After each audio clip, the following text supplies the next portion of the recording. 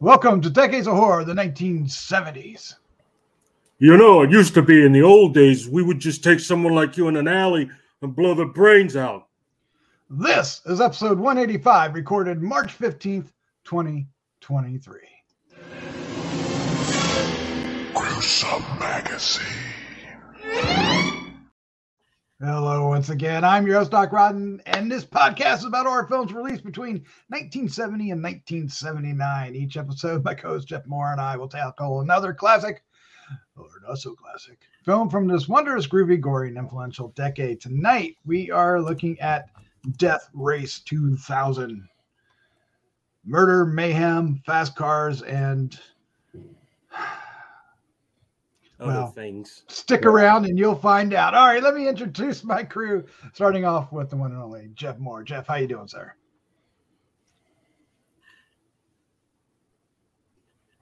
Jeff Mohr is keeping us in suspense.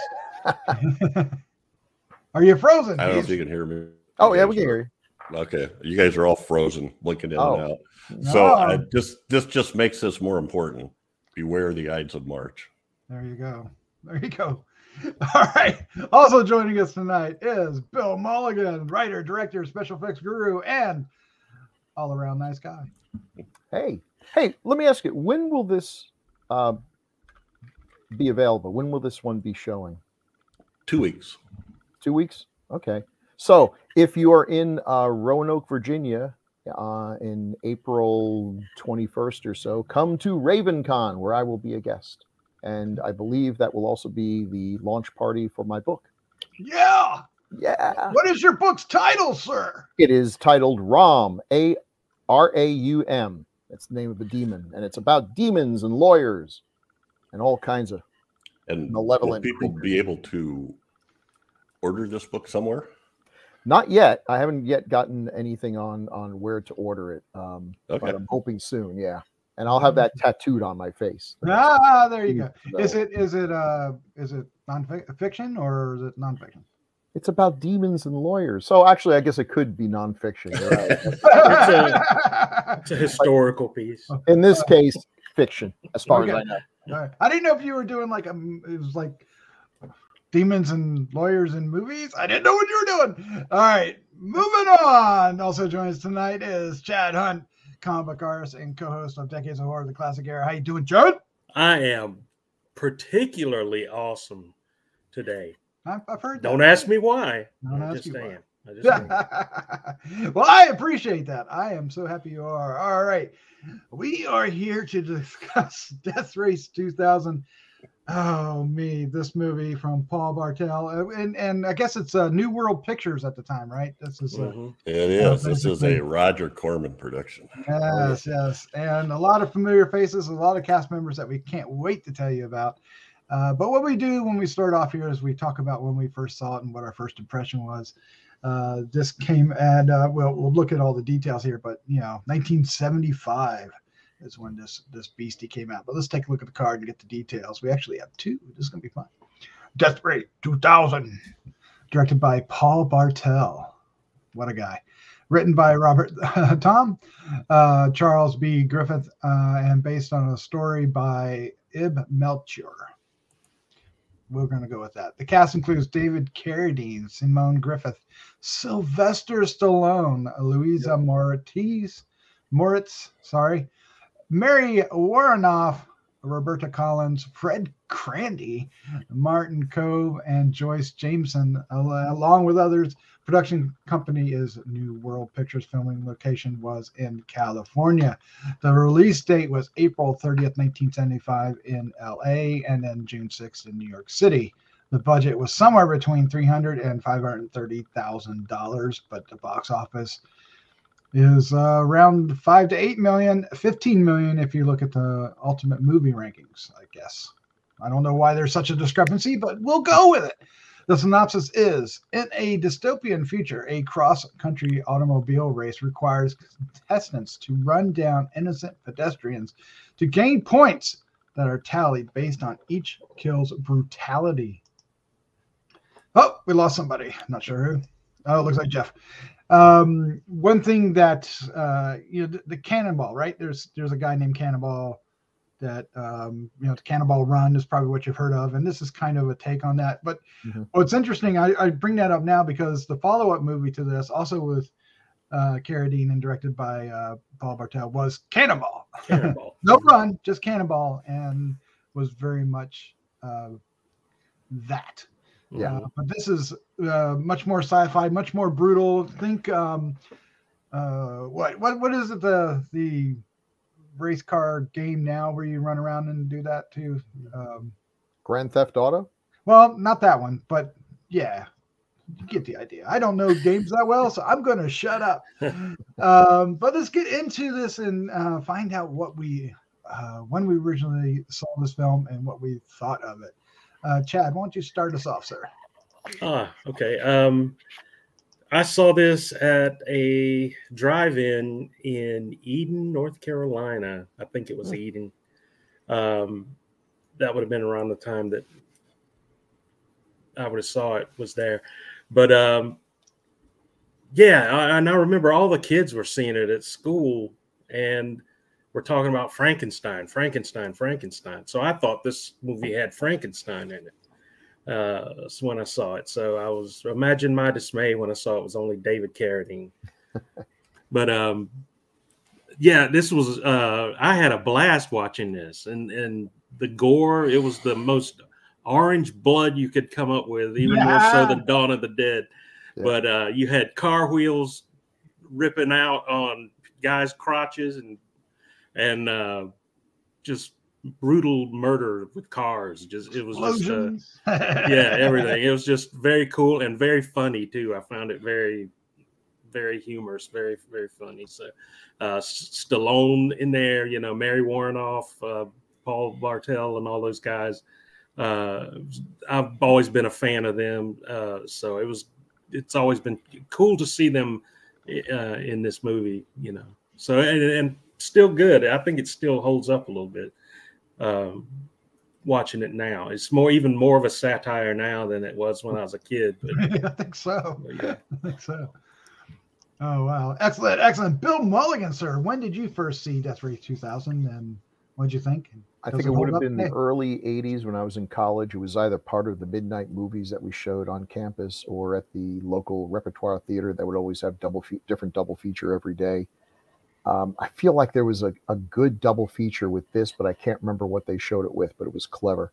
Maybe it was the cars that eat people or something. But um, Or was it I think? I think this was a great time to be watching Roger Corman movies because you know he still had that B movie uh, sensibility, but he was able to show a lot more stuff than he had before. I mean, yeah, I remember being impressed with the gore and everything. It seems so tame now, but that's just a reflection of of how far things have continued to move. But at the time, yeah, that was pretty pretty gory stuff, and the the comedy was broad but good.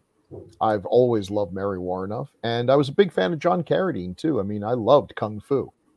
Um, I, I realized now the the sheer insanity of Kung Fu, where um, David Carradine, who's like the whitest guy in the world, walks into a bar and everybody in the bar starts yelling at him to get out of there because they don't serve Chinese people. I'm like, huh?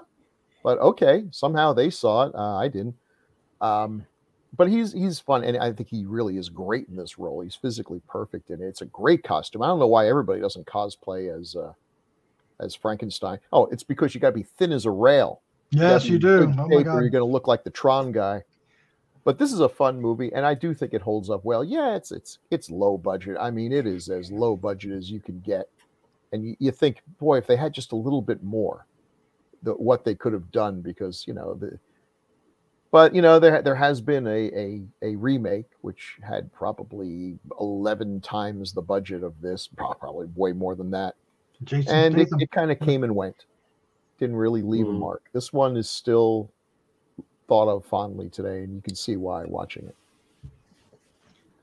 Absolutely, absolutely. Jeff Mohr. When did you first see this, and what was your first impression? Um, well, uh, this was my pick, and sorry, I was uh, rebooting because my computer seemed to like not like me. Um, but I saw this in the theater, and I went to it because hey, kung fu, David Carradine, and uh, I loved it. and the whole idea of getting points for hitting people, I just thought this is awesome because we used to talk about that, you know, not in driver's training, but after driver's training, you know. yeah. How many points? How many points? Yeah. Uh, anyway, I loved it. I think the cars are kind of, but sort of cool. And although I was extremely that uh, machine gun Joe Viterbo never fired his machine guns that were mounted on his car, uh, at least that I noticed. Mm, yeah. Um, anyway, uh, so there were some tools that didn't get used, and it was I don't know the cast at the time. I don't think I knew, didn't really know what I was getting for the cast, you know. But but now looking back, it's a, it's really kind of an incredible cast. So uh, anyway, I loved it then. I liked it. It's actually better than I thought it was gonna seem now. Um, yeah. my memory was that there was a lot more uh, overcranked uh, car speedings, but it wasn't near as bad as I, I remembered. Maybe it looked worse on a big screen. I don't know, uh, but I enjoyed it. I've seen a lot worse. Seen a lot worse. Yeah, this is uh, what uh, two or three years before Rocky. So uh, this came. He came right off of Lords of Flatbush. That's just Mhm. Sylvester Stallone. Uh, I th- okay. Funny story. I would have told you before watching this movie again this past weekend that I had seen this movie. I must be confusing it with like some other movie, perhaps Cannonball, uh, which is the next film from Paul Bartel and David Carradine. But I um, I knew about it. I knew Frankenstein. I knew all the characters and everything. Um, I knew Sylvester Stallone was in it, but I would not have guessed that Sylvester Stallone is in this movie as much as he is. I was delighted to see how big a role he actually had, and he's he's actually funny in this. He's he's hilarious. Um, so it turns out the first time I watched it was this past weekend, and I, I think it holds up wonderfully well. I mean, yes, it looks dated, uh, but I think tonally and the message holds up, and the acting is is is wonderful. It's cheesy. It's um, there's I imagine there's tongues stuck in cheeks, right? Everybody's kind of Mhm. Oh, playing it, but not. I mean, they're playing it straight, but you know, with a little bit of uh, uh, winks, if Yeah. you will. Uh, they're having a fun, a fun time with it. Um, and yeah, there's there's cameos here and there. There's people in in in, in roles that you wouldn't expect, and uh, and a lot of a lot of fake ass gore, which is hilarious. A lot of crashes, which is what you want to see, and more nudity than I expected. Um, a lot of a lot of nudity, even even bare Sylvester Stallone, but go Yeah. figure. There was. I didn't even notice. Ah. You're too busy. Too looking busy at looking at Mary the Mary Warren. Warren.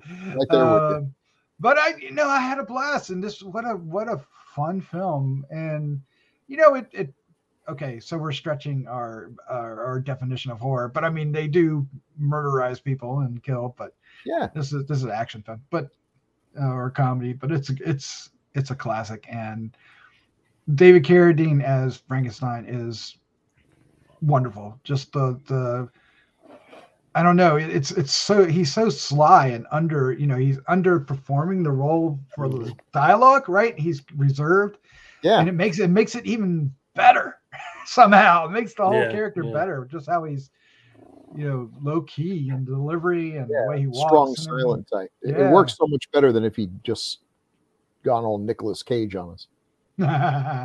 or or Jason Statham, who was in the, Yeah. remake in the 2000. Uh, but it, I thought he did a great job. Of course, he's like you said, Jeffy is just coming off of uh, Kung Fu. Uh, matter of fact, if I read the credit, the the notes right, he, it was like two weeks after he left the set. Yeah. He was like, yeah. he's like, I got to do something else, or I'm going to be Kung Fu forever. And um, Yeah. and this this movie was responsible for jump starting his career uh, in the movies, and uh, we're all better for it. Yes, Absolutely. Yes. and these posters. Nice poster, by the way. Yes. That's a that's a nice. It just kind of reminds me of like Danger Diabolik. You know, that just kind of smooth, cool That 70s European style style. Yeah, yeah. Yep, yeah, montage poster. Nice. Yeah. nice painted poster, and uh, and they got uh, you know this is the a, a banner ish poster, and of course the regular poster size has David Carradine, you know, and what is it? Um, no longer a felony; it's a national sport. Oh. Yes, yes. So, and a cross country road wreck. Wow, whatever.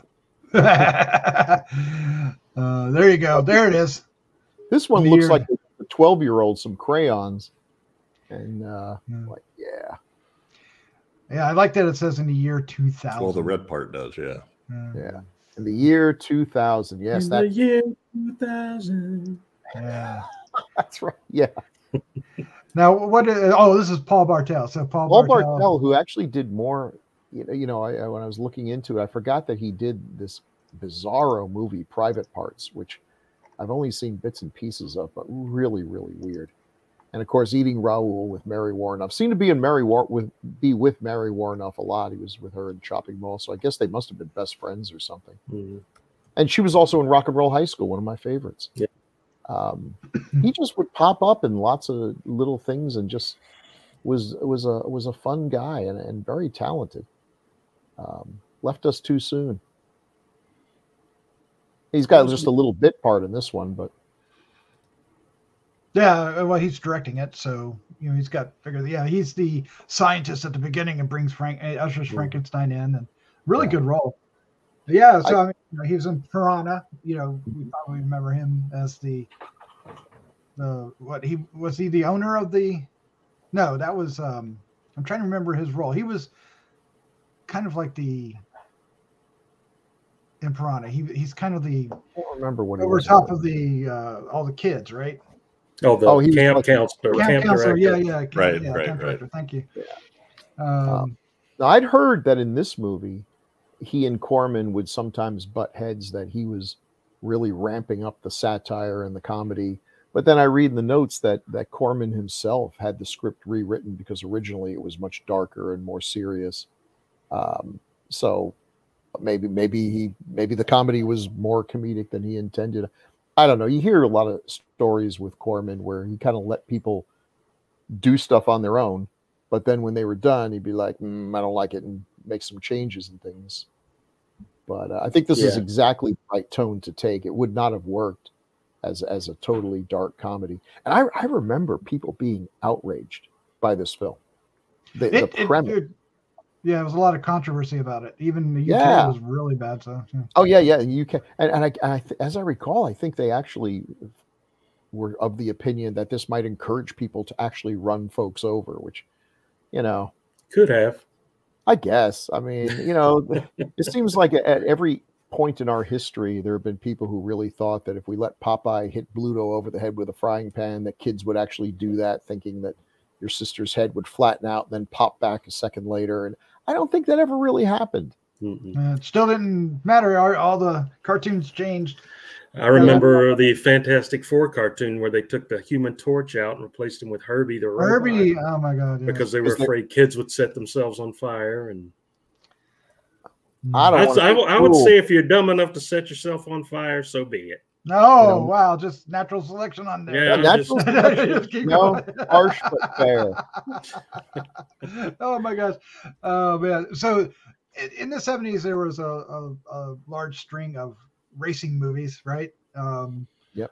Matter of fact, some of the more famous ones would come later with Cannonball Run and and uh, uh, Smokey and the Bandit. But even before that, we had a whole bunch. Uh, what's interesting is, is that um, Paul Bartel directed two with David Carradine, but he was starred in the other two that uh, Corman put out, and those both had Ron Howard in it, coming off of Oh yeah, Happy Days, uh, Eat My Dust, and Grand Theft Auto. I don't know if anybody remembers. I either of those remember films. Eat My Dust. I remember the Yeah. commercial. Ron Howard pops the clutch and tells the world to eat my dust. I still remember the TV spot. oh my God! Right, that's right. Corman Corman was always making these. I mean, even in the 50s or 60s, he made a number of hot rod movies. Um, so cars have always been been a thing. That mo- none of those movies have really stood the test of time the way the horror and, and the you know the Poe stuff has. But yeah, I mean, cars have always been a, a big big part of American uh, drive-in grindhouse cinema. It's just only a few of them. This one, I think, is the one that people remember because it also has the science fiction element to go with it. I always remember um, Bill mentioned it earlier, Cars That Eat People, but I think it was called Cars That Ate Paris when I saw it. Yeah. Oh yeah, Cars you know you're right. Paris. You're right. And uh, it remi- this movie reminded me of, of that. I don't know which came first, this one or Cars That Eat People, but but that was a that was a pretty uh, from what I remember the blade sticking out of all the cars Oh yeah, there was like yeah. and, and crazy stuff. Yeah, I remember going to see the Road Warrior, and if I remember right, I was thinking at the time, I hope this is not just going to be one of these car chase movies because a little goes a long way. Well, needless to say, it was not. Uh, you know, the kind of movie absolutely blew me away. And I've never, I've never been as big a fan of the car stuff as you know, even the Fast and Furious ones and everything. But there's, but again, there's a place in Ameri- American uh, film for uh, for the for that genre of film. But this is the one I really like because again, the science fiction, the horror overtones, the satire, it just it's it's dated and yet like what Chad was saying, no, it actually kind of makes as much sense today as it did Yeah. then. maybe more. In maybe some more ways, than- more so. Which is funny is because now it now the race is in the past, not in the future. it's one of those movies where they they put the date so far ahead, like nobody will, ever- you know, Yeah. we all make it. So, uh, David Carradine. I want to mention David Carradine, and Ron Howard, real quick again, why, um, before we move on. That David Carradine was paid ten percent of the film's gross, Oh, right? Which is unusual for Roger Corman. He Oh, only yeah. did that. He only did that twice with two actors, and that was David Carradine and Ron Howard.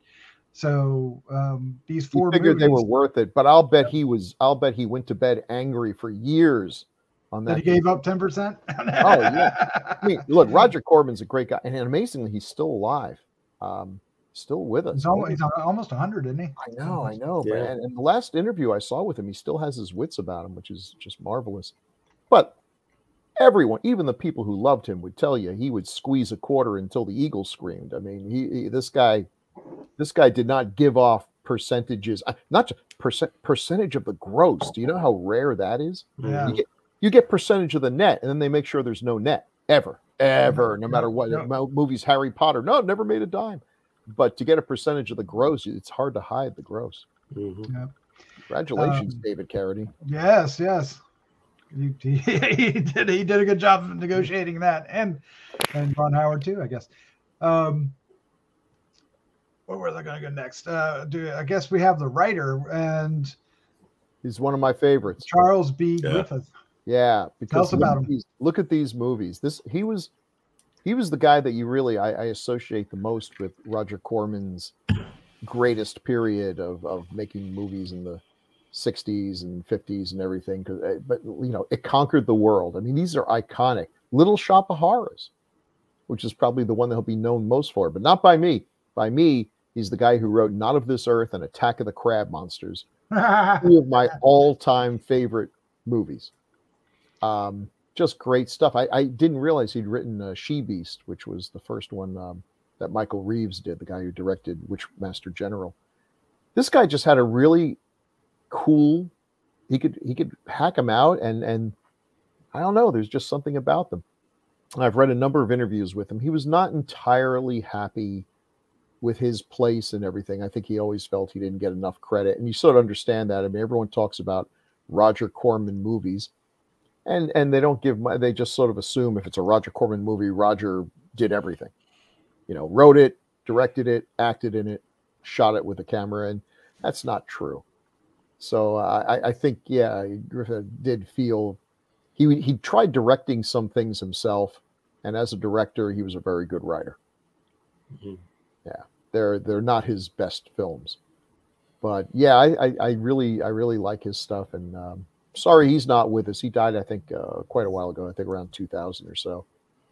And if he just lasted a little bit longer i think he would have finally gotten the attention the credit that The recognition, yeah, deserved, yeah. making my childhood much happier So Yeah, you, you've got to love Attack of the Crab Monsters. it's the best It's the best, worst movie you've ever seen in your life. Ah, nice, nice. but it, but it, you know, and, and that's something that he does a lot is that Attack of the Crab Monsters. Roger Corman would have been perfectly happy if he just, you know, sent in a script that had a bunch of attacking crab monsters.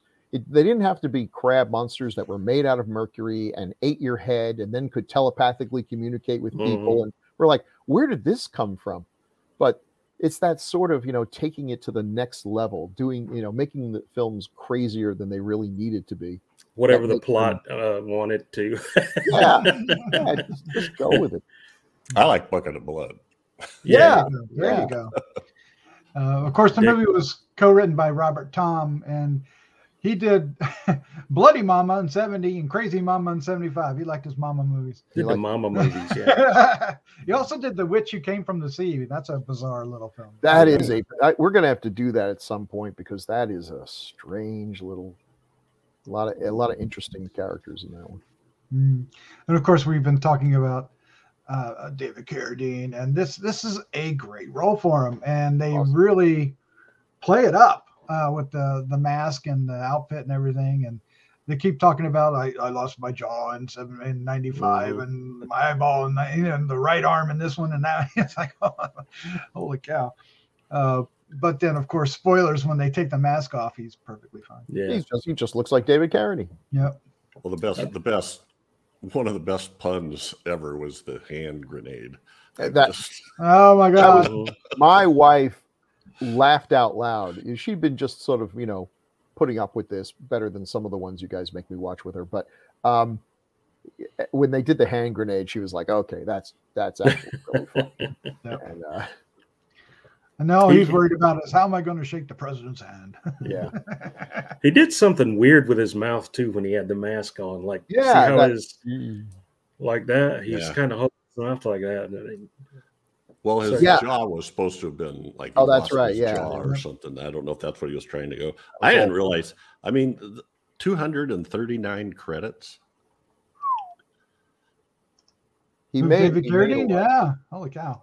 that is a lot of credits. I mean, you know, and it, toward the end, especially, or you know, yeah, toward the end, it, it was one of those things where he was in a lot of stuff, and a lot of it was garbage.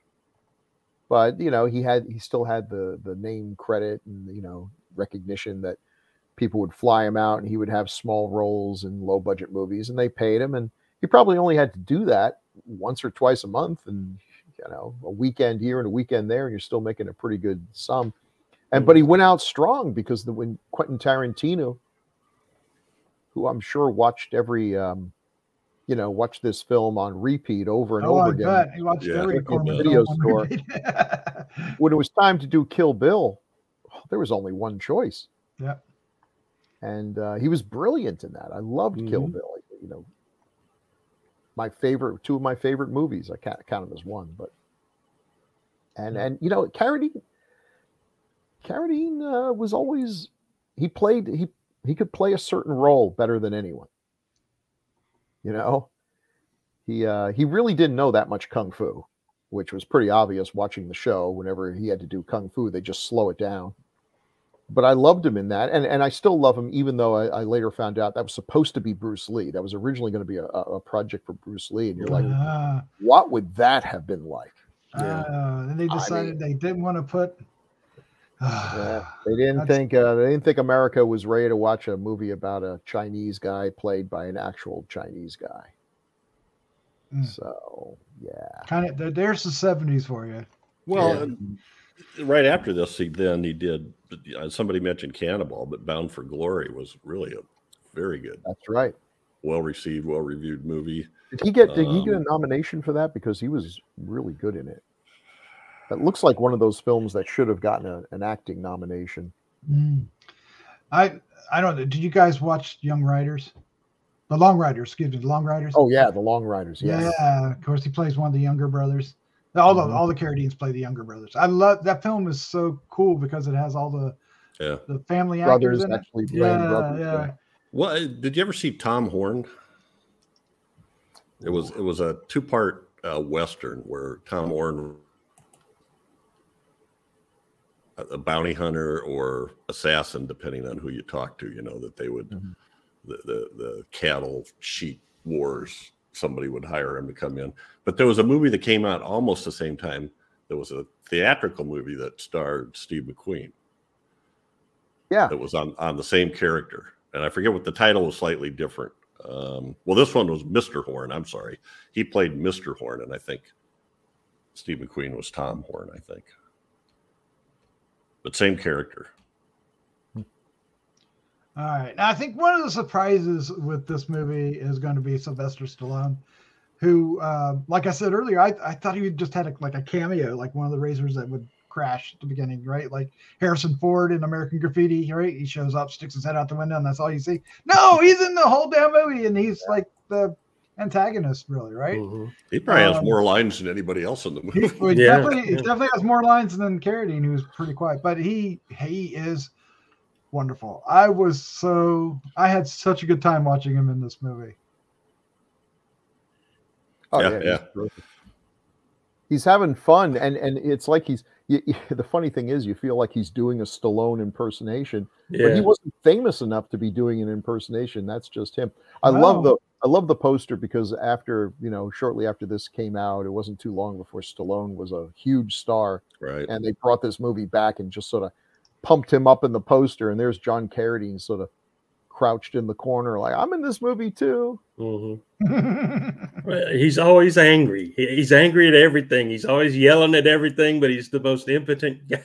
Yeah, Yeah, that's all. He's like yelling at nothing. He's like, stop playing that music. I told you stop playing that music.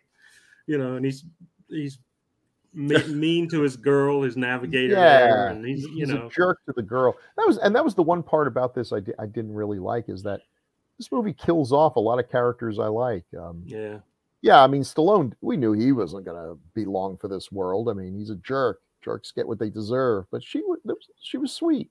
Mhm. Yeah, used to see her on a lot of Love American Style a lot. Um, I Yes.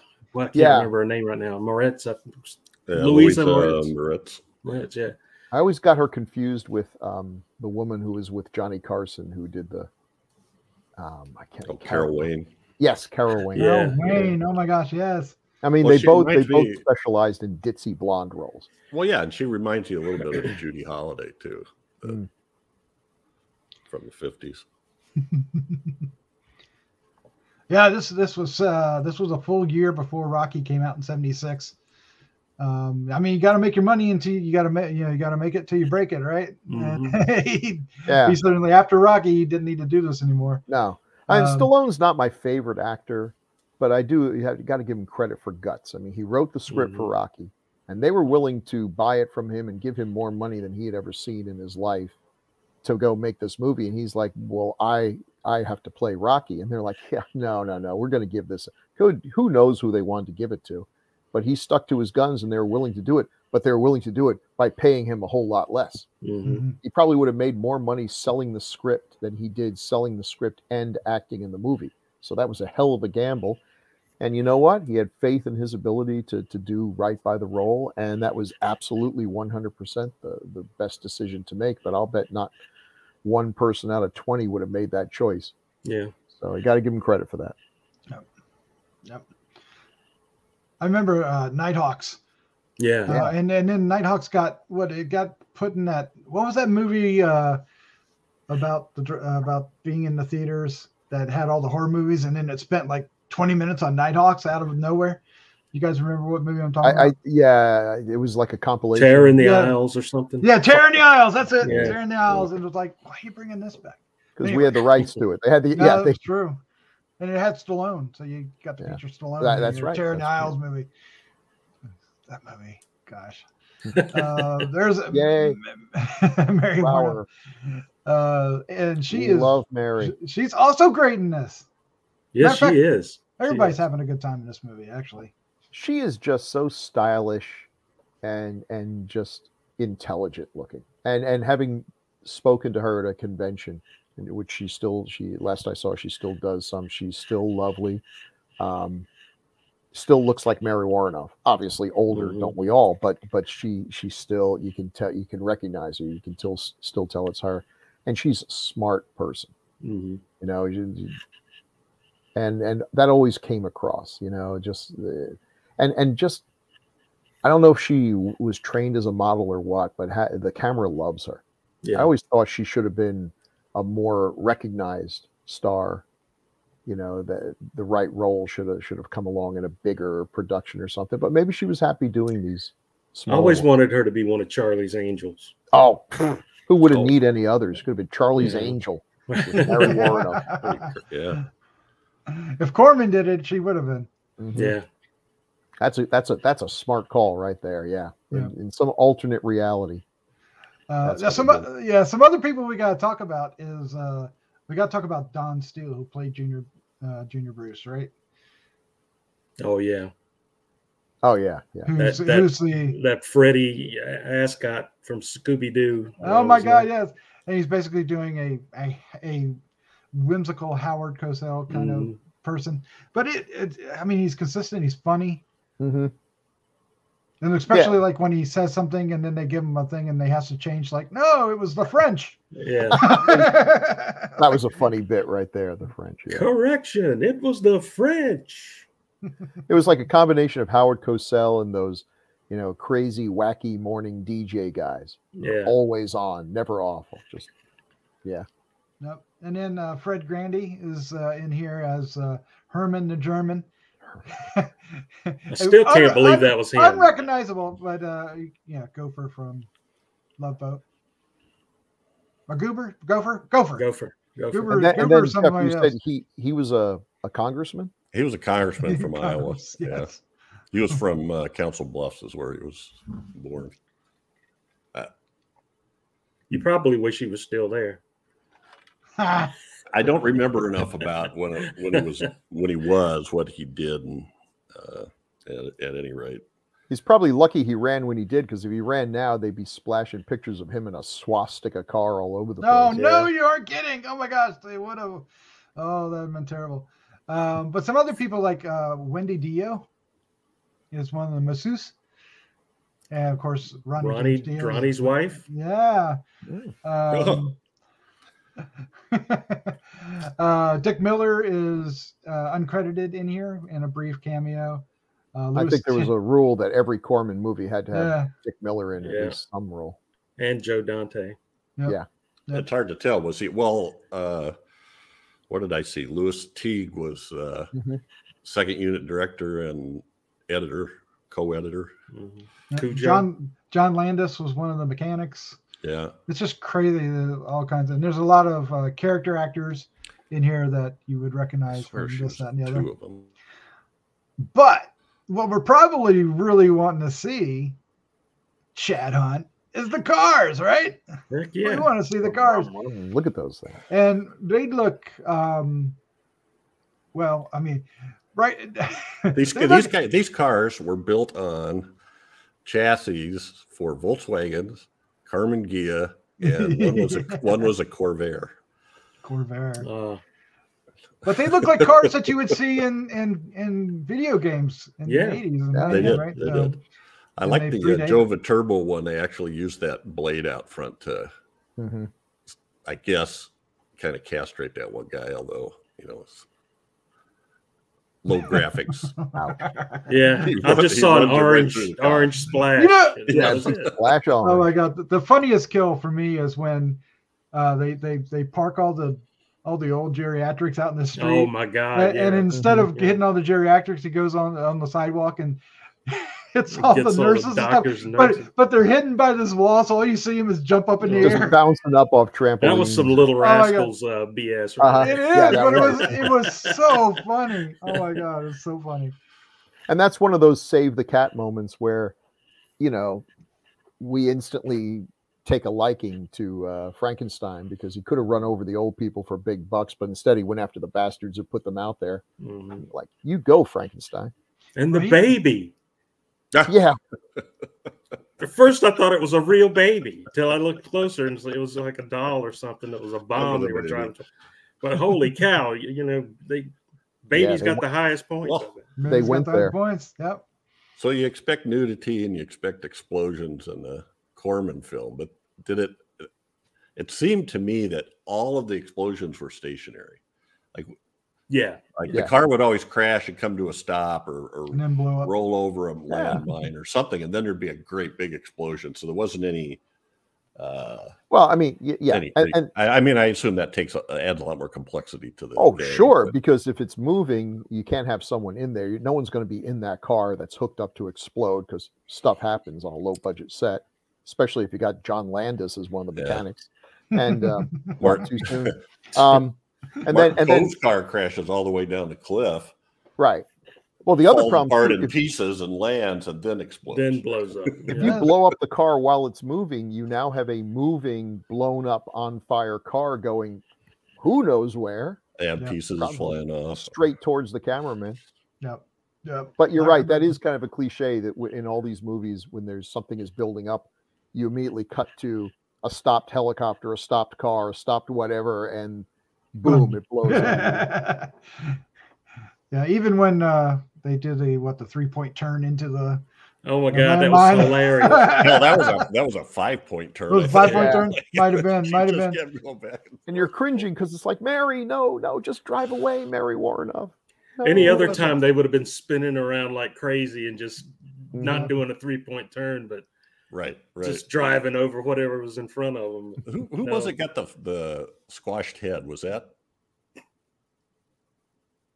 was that Gopher? No, That was uh, ma- that, that was uh, Mary Calamity Woronov's, James. Uh, Uh, yeah, Calamity Jane. Yeah, that's right. Oh, that's is that the one that was like under the yeah, under- Yeah. that was genius. Yeah. That was genius. I love that part. Oh, well. Nobody gets my aggregator. Uh, what, I can kinda- you, what can you say? Yeah. This was a- Yeah, I, I, this was a I want to mention uh, Joyce Jameson, who played the other announcer. Uh, oh yeah, yeah, yeah. Go ahead. and did you hear all that? Yes. Okay, because you guys all went away. um, so that's what usually happens when I start talking. Uh, so she's been uh, somebody that I've always liked. She was in uh, uh, Andy Griffith show. She played one of the Fun Time Tins, Fun Time Girls. Chad, remember we talked about her on, Yeah. uh, and she was in Comedy of Terrors and Tales of Terror, two Hmm. Corman films in the '60s with uh, I th- Vincent Price and I think Karloff were in them both. And um, but she had a, apparently Clint Eastwood had a, an affection for her or something, or, or I don't know. But he had her. She was in Outlaw Josey Wales and in is it Every Which Way But Loose? One of those. Hmm. One of those movies. One But I always liked her, and she had kind of a sad life. She wasn't Oh, really? wasn't a happy person, and it ended early. Oh, Mm. And there's also a young Martin Kove who Yeah. you might Yeah. remember from Karate Kid. And Mhm. what now? What now? Cobra Kai! Holy cow. Gee. Still going at it. So that's kind of cool. Yeah. Yeah, what's her name? Uh, oh no, she was in it quite a while. Well, who was the one? Yeah, I can't remember. Cleopatra. who was Cleopatra? That was Martin Kove's navigator. Leslie Hmm. McRae. She didn't last very long either. no. They were the first ones out. Okay, just double checking. I got them mixed up with uh, with Matilda the Hun. Tilda. Matilda Dunn. Oh my God. Tilly dear, one of my personal friends. Close I know, of mine. I know. it was- that was that was the uh, her her her line when everything was her friend. Uh, I okay. I just you see me smiling. I smiled through this entire movie. Sure. And I did Yeah. not. I was kind of like, oh, God, we gotta watch this movie. I want to watch it again. I love it. I love it. It's great. It's a great old 70s movie. Yeah, and it, it Um, has it has aged surprisingly well. And I, I again I think part of it is you look at the culture that we're in now, and the only thing they missed was they even they could not have imagined like social media and how Mhm. that would be perfect for something Oh, like yeah. this. You could just imagine you know, the only thing that would be different is they'd all be filming selfies as they ran people over and people would be filming themselves not getting run over or sacrificing themselves, which I also Mhm. thought was kind of a cool touch that Oh if yeah, this fans. if this were yeah. real, the fact that people are nuts enough that they would embrace it and sacrifice themselves. And you know, kids in high school, I know kids in high school who would that this is just the Mhm. greatest thing that they're going to uh, you know become immortal by being the first Yeah. to die and You'll have Help guys me. out there playing chicken, like the three those three guys that locked the one guy out of the manhole cover and he got hit. Oh my God. He went to jump in. He could, you, that that would be an everyday And then, and then occurrence. they came yeah. up to laugh and get nailed by the next. Yeah. Oh, that was, and then their arms and legs They were flying down the dragged street. So, Bill, you tell me this is my memory, and then you know how sometimes your memory uh, fails you. But what I Oh. remember is uh, probably like, wow, probably five to seven years ago, you asked for on social media, you asked for movies that needed a remake hmm, for a panel you were going to be on yeah and I put in there Death Race 2000, and Jerry Chandler right away popped on. Uh, already been done. In fact, Death Race, Death Race 2, Death Race 3. Yep, been three of them. and I yep. just felt stupider than crap because I thought, now I went and watched those first two. I'd never seen them before. Hmm. Death Race and Death, the, the one with Jason Statham and then Yep. the one after it. And it, it's, you know, it's just, It's not the it's same. not the same. No. isn't. It's not the same. The fun is gone. You know, Yeah, the fun yeah. is gone. no if you try to if you try to make it serious no it makes no sense at all um, this you know the other thing this reminds me of when i'm watching this the idea of frankenstein is doing all this to get his chance to assassinate the president sort of reminded me of some stephen king stuff too that you know you can see elements of like the running man Mhm. and, a, and a book he wrote that never got made into a movie called the long walk Yeah. Yes. Yeah. and and yeah so you know I, I suspect stephen king was also a fan of this movie a lot of people were it was it had a, it had more influence than you'd probably give it credit for and i did have the video game which was unofficial but i believe it was called death race. They just left out the 2000 so roger wouldn't sue them. Hmm. and this was one of those early atari games bad graphics but it didn't matter because all it was was a car that you control with the joystick and you ran over little stick figures that were running away from you and they screamed when you ran them over. And we thought it was the greatest thing ever and people were outraged they, this was like one of the first times they were like video games are corrupting our youth and what kind of lessons are we sending and i played that game over and over you know how many people i've really hit in real life so far the week is young but you know we did not become a bunch of mass Right, murdering right. lunatics because of video games there there were You other know. I I watched tons and tons and tons of Warner Brother cartoons. I've never shot anybody in the face with a shotgun. Yeah. Just- Yeah. what that- drives, yeah, you you know what drives here. people crazy? Politics. But you run for office and everyone's like, "You go, girl." But yeah, that's what drives people crazy. Not not reading comic books and watching video games, but that's when they come out. All the Karens come out, and All the Start trying- Karens. Well, Another thing that really hit me was uh, you guys mentioned the where the where they drive off. They've got all the uh, all the, all the the geriatrics. They call them out on the road, and then they run Mhm. off on the side, and people go flying up in the air. Um, I, I I didn't hear if you if you mentioned what they called it. What's what's going on up here? Oh, it's geriatric euthanasia day. We do this every year. I'm like, what the hell? Yep, I'm out there. Geriatric euthanasia day. It's a celebration. But you get a whole bunch of points. He, I think he gave up 700 points, right? Yeah. Yes, yeah, that's what they said. he You'd didn't think, care. you know, he, had, he had something else planned. The people That's that why he's the best. Be worth more points, shouldn't they? What's People that? are more, shouldn't people that are faster be worth more? It seems to me like uh, younger people should be worth more points because they're harder to hit. I Mhm. saw this more of a uh, kind of a social population control thing that getting rid of the old people gets rid of an Okay, needless okay, okay. expense because Yeah. we've obviously had an logic, but- economic collapse, and you know, What? Yeah, because what they I forget what they call The it. French, but the The French, French were the bad guys. The Yeah. French. So the body count is a whopping 33, which you know movies today would respectable. Multiply that by 10 at least. Well, that's five minutes of John Wick, but it's pretty respectable for the That's- 1970s. That's, that's the brief. Yeah, it's five minutes. You know, John Chad, I, I seem to remember that uh, Invisible Man, the original James Whale Invisible Man, that it had a body count of like over a hundred because he makes a train crash Yeah. full of people. Yeah. You And the- the train the- crash the- be. The censors had told him he needed to take that part out, and he said, "Yeah, yeah, sure," and then never did. Yeah, left it in. Yeah. Good for him. Yeah, yeah, I'll get on it right away. Me crazy?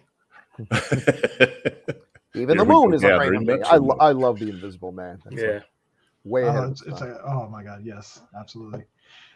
Uh, But it seems like I know this is a low budget film, but it, I, I have the feeling also if the if they had more money to do this movie, we wouldn't have got the movie that we No. this movie at all. It would have been a totally different. Yep, Uh, part of the charm is the yeah, low budget. uh, yeah, Um, I think more money would have let them would have led them to be more serious. I think, yeah, yeah. and, that's what I and they feel. were forced to make things sort of campy because of They would not have gone for the Low satire. well, or it, the this, and this movie needs the camp. As you Yeah, know, when you look at the remake, you, it misses it. So, Mhm. uh, but what a what a delightful film, and everybody watching should check it out. Let's go ahead and wrap things up for this because we've got some great feedback. Let's give our uh, recommendation, and if you guys want to pick a favorite scene, um, I'd love to hear it. Uh, let's start off with you, Chad.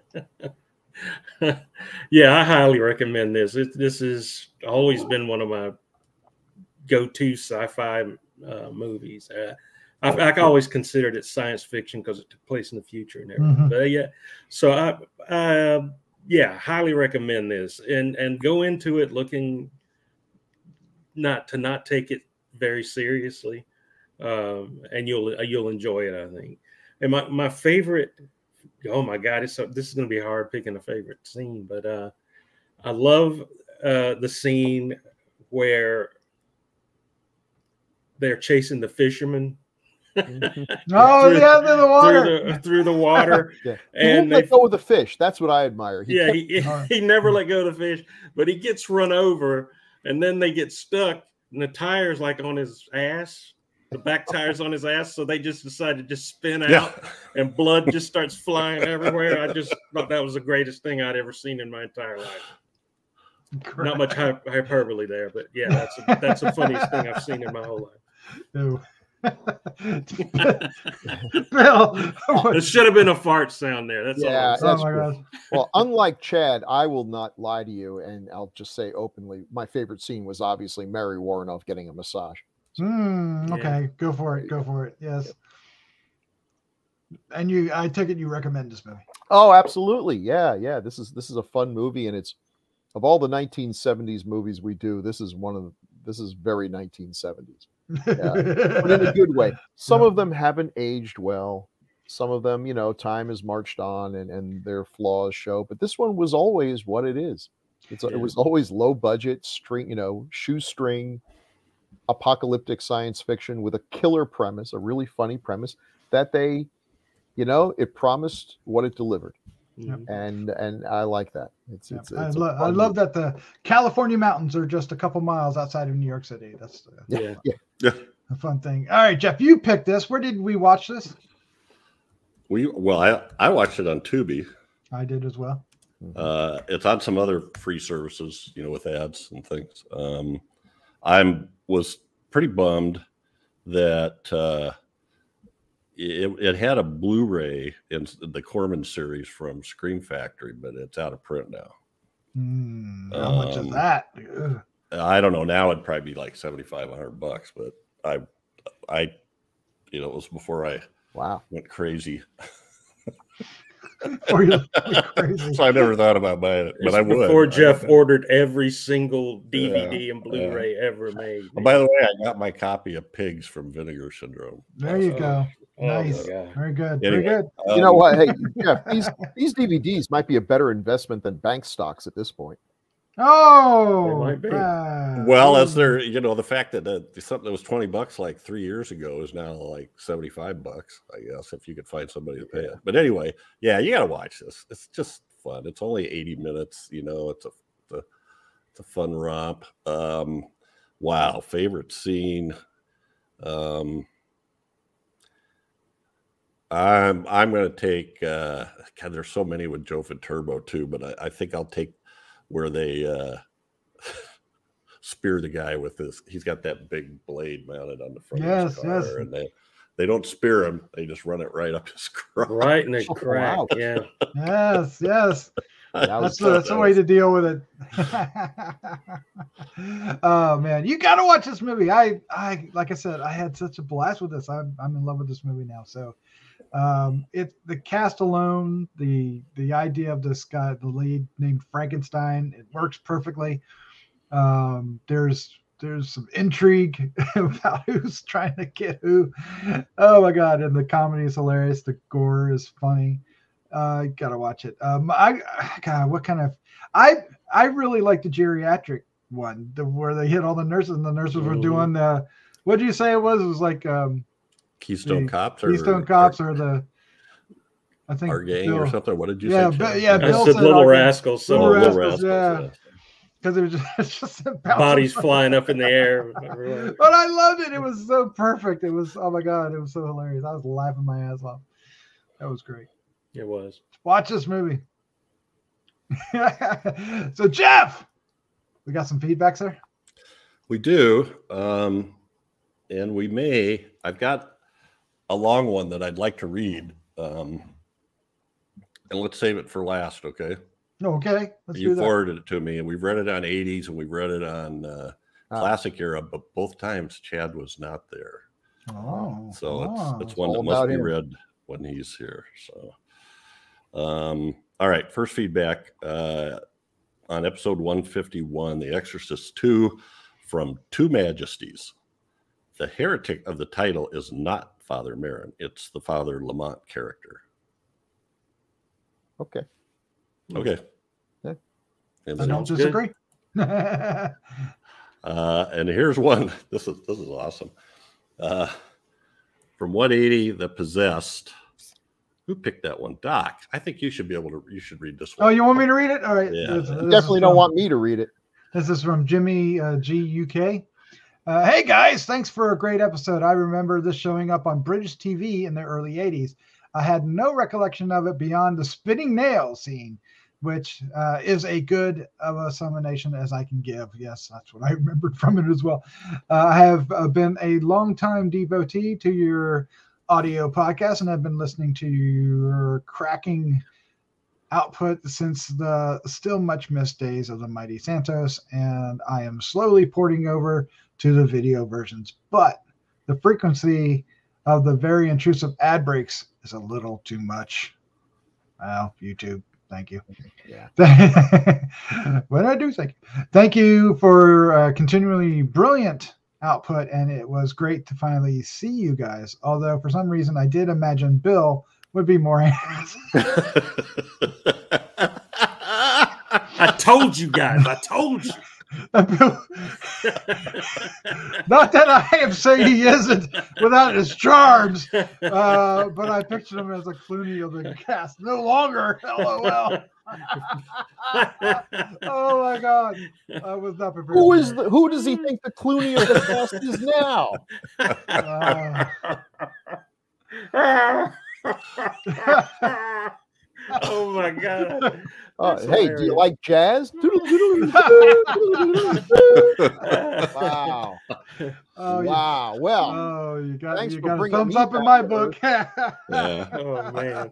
God. I'm gonna I'm gonna switch the view here, Doc, just so we can. oh, okay, thank you. Uh, let's have uh, the the next one is on pigs 183 from Jeff Chapman. Oh, let's see what Jeff thinks about me. Mm. Uh, and and uh, Chad, this was your pick. If you could read that. Okay. I watched the one when they found an extra pig, the 13th pig, not to be confused with the 13th warrior. I laughed at that. Sure, it's not a perfect film and made cheap. Hell, Charles Bernstein did the score for for uh, oil for an oil painting. He did Yeah, the score yeah. for an Like- painting. What's what's with this abbreviation of words and numbers?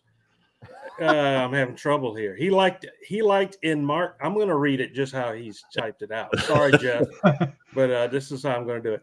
He liked in Marc Lawrence's house, but I would choose this over modern CGI family holiday trip horrors they make over and over again today.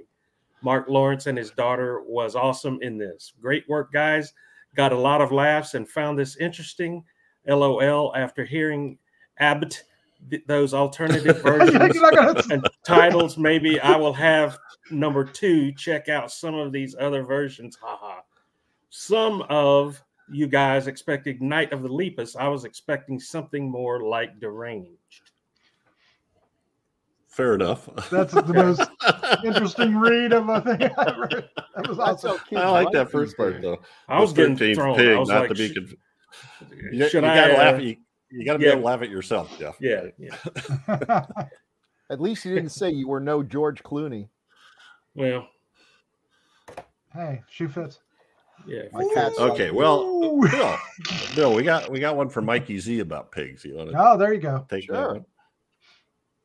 It's no good to remember something that's terrible. This one lingers for some reason. Fingers. Have to admit it, I have not seen or heard of this. Directed by and starring Marc Lawrence, who I remember as a Universal contract player from the Abbott and Costello days up to two James Bond films of the 1970s.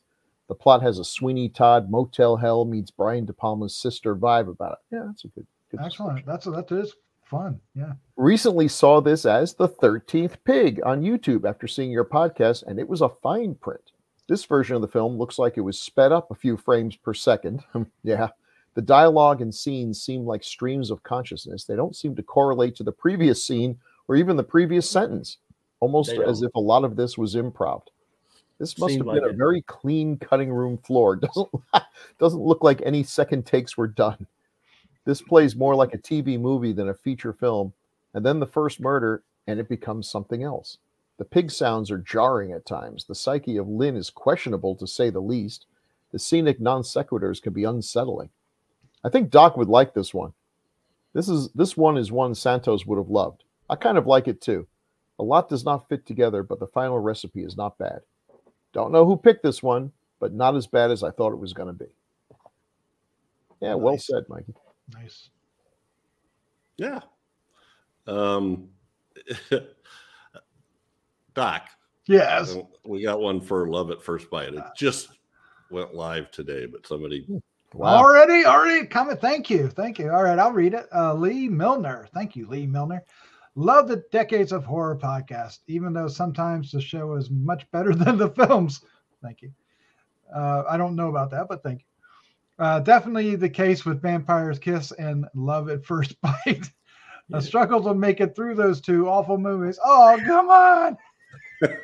Ugh, Uh, all right. I'm with you, Lee. I'm with All you. right, I'm all, I'm all alone in the love for that movie. Yeah, okay, I can handle that. Okay, so uh, this one is awesome. Doc, you forwarded this to me from uh, Gregory Crosby, uh, who's who's uh, um, I won't give the domain, but his email uh, username is Doctor Gogol. Hmm. Hmm. Um, dear Grue Crew, first, my sincere thanks. I stumbled upon the Decades of Horror family during the lost year of the lockdown, amidst my search for a horror movie podcast that didn't inspire me to take an axe to the fiber optic cables of the internet. Thank you so much. I think that's Appreciate a great compliment. That is a great compliment. Thank you. I dove into the archives, especially with Doc and Santos, and I Mhm. listened to nearly every episode, sometimes after refreshing my memory with a film found via streaming, sometimes not. I pocketed a few episodes until I could see the film under discussion, especially Bay of Blood, which I finally saw on the big Mm. screen this past summer Oh at wow. the Museum of Modern Art's epic Oh, two month long cool, horror film cool. festival. Wow. Bravo as ever on your discussion of Bava, though I'm still mildly miffed that Bill missed out on the discussion of my all time favorite Bava, Kill Baby Kill on Classic Era. Mm. They wanted someone more handsome. We needed someone with more of a Clooney, uh, yeah, they did- yeah, they did a Clooney Clooney. vibe Yeah. Never gonna Clooney vibe, go. and it just didn't work out with Bill. Well, I mean, Bill Bill's more a Brad Pitt guy, right? I'll take that. Pitt, Okay, moving on. Pit Bull. Uh, during the past two years, during the Sorry, past two years, I've often wondered when I would get around to sending some feedback to express my appreciation for the hours of pleasure DOH has given me. Would it be to mount a spirited defense of Messiah of Evil? Mm. Sidebar: Yes, it's a hot mess, and yet there's something about those pretentious art house '70s horror films that have a disturbing, truly nightmarish quality, Hmm. an aura that lingers under the skin long after after more accomplished horror films have faded in my mind. Hmm. Messiah definitely fits that particularly particular category for me, and I would agree with that. Yeah. I would too. Um, There's Yeah. lots of bad movies that have scenes Mm-hmm. that just uh, it can't get rid of. Uh, would my first missive be an amusing anecdote about how the only monster that truly scared me as a child was the blob? Because I knew my mother would not allow me to sleep with a fire extinguisher.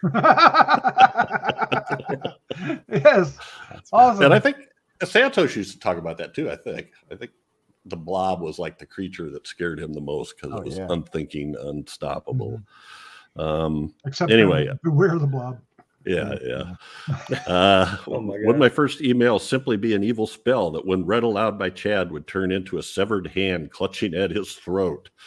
Tagline: He's all choked up. Thank you. You have- Now, I'll never. I'll not sleep tonight. Now. Yeah, that's right. Mm. Uh, nothing ever felt quite right for my first foray onto contact. into contact. Then one recent night, searching for the comfort food of a creature feature, I found an excellent quality upload of the Deadly Spawn on YouTube. As I watched the film, a curious thing began to happen.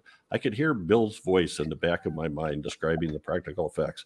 I could hear Chad singling out his favorite scene. I could hear Crystal enthusing about the gore. I could hear Jeff describing one of the cast's obscure TV credits. Wow, this guy really knows us. Damn. and all those are true for that movie too. so. He it- listens. he really does listen. yes, he does. I, I remember talking to Santos one about it. I talked to him about, oh, I listened to that interview you did with so and so, and he goes, "Listen, that, that was a written interview on."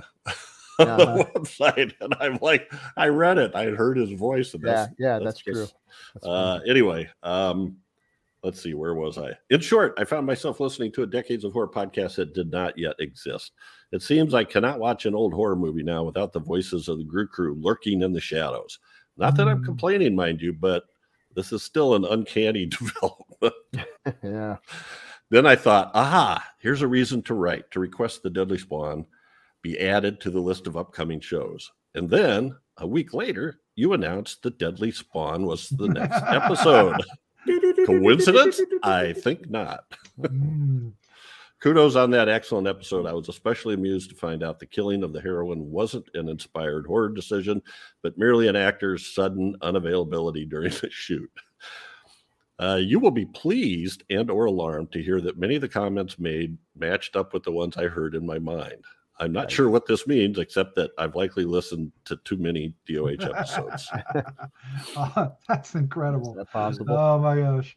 Continue the excellent work from the classics to the 70s to the 80s. I know you base your selections on what's streaming, but here are a few suggestions. For classic era, Fiend Without a Face, stop motion fun.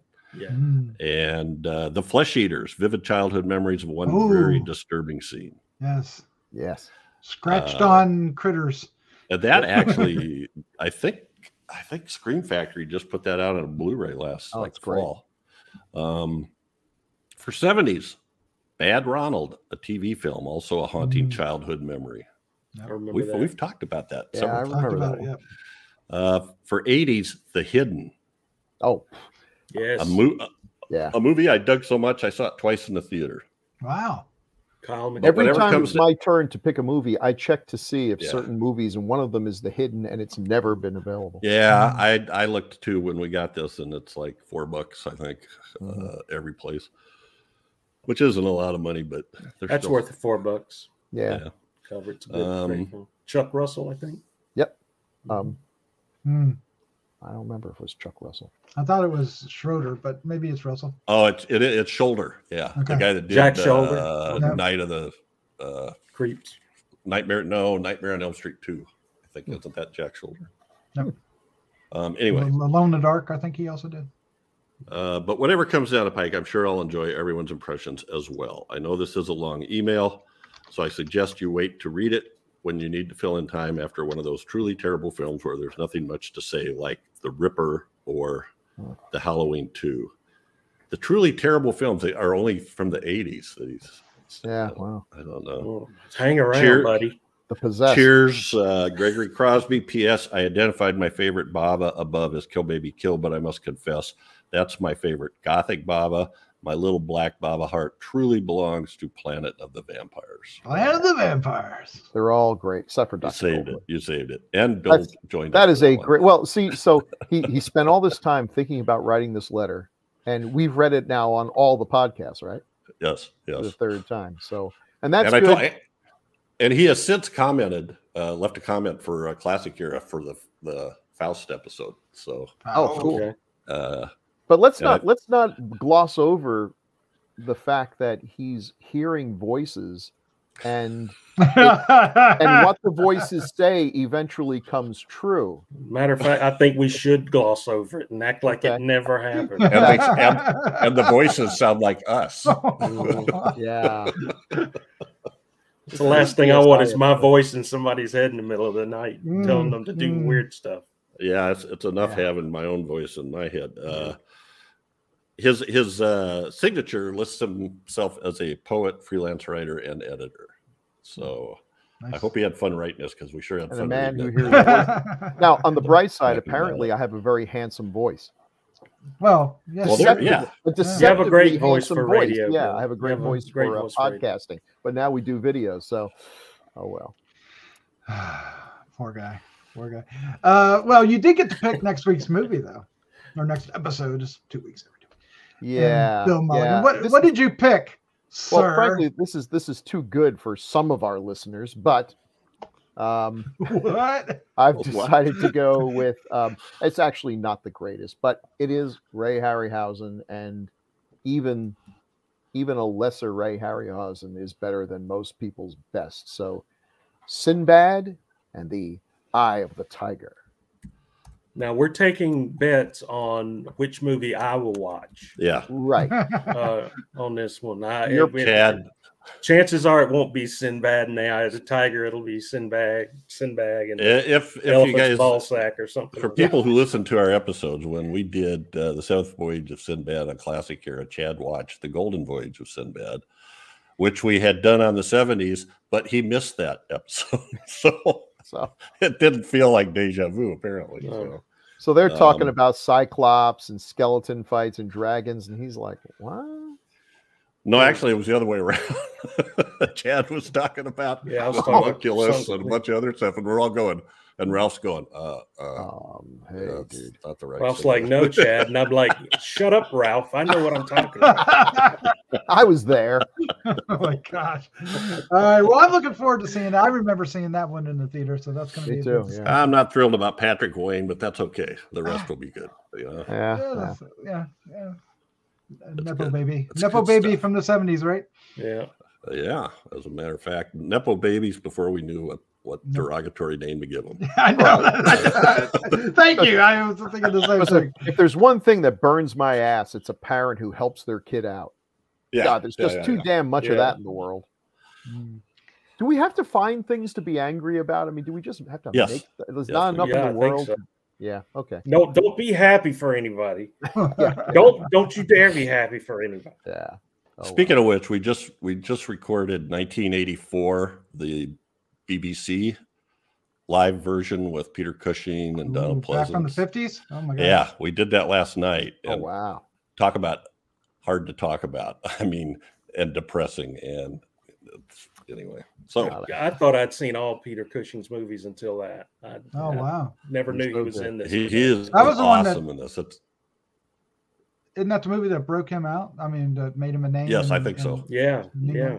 I mean, it was a TV. It, it was a two-hour live production on the BBC. They had like a a weekly Sunday night movie that was live, and it got so much publicity. And the royal, uh, the, the the Duke of Windsor talked about how they he and the Queen had watched it, Oh and wow. so they showed it. They showed it four days later and recorded it.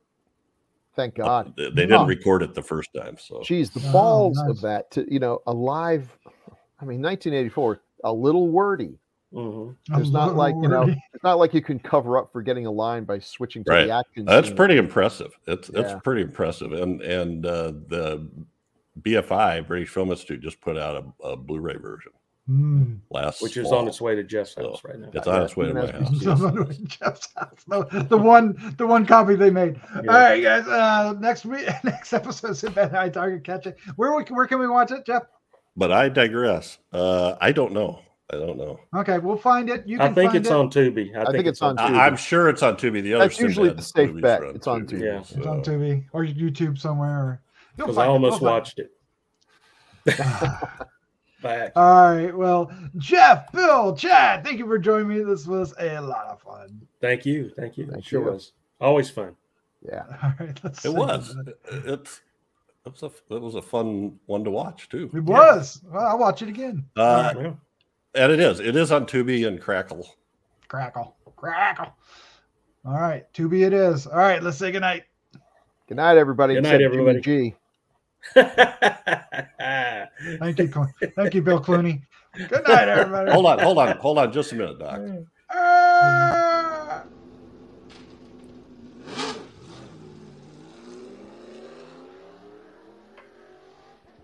you go. Adios, amigos.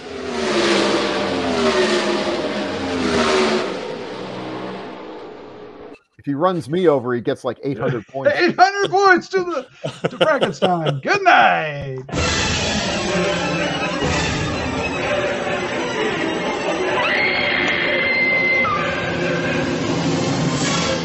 Gruesome Magazine.